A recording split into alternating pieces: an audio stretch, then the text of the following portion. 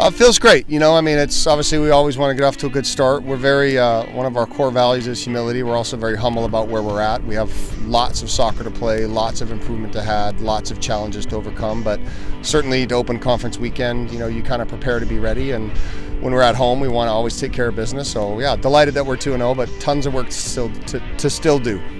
Awesome. And then going into this next weekend against Linfield, are you going to keep the same game plan for the team or are you going to switch it up a little bit?